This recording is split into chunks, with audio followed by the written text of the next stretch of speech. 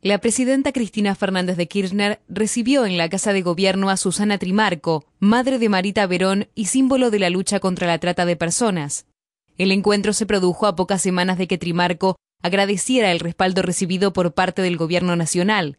Marita Verón fue secuestrada en 2002 y, según testimonios, fue obligada a prostituirse en la provincia de Tucumán.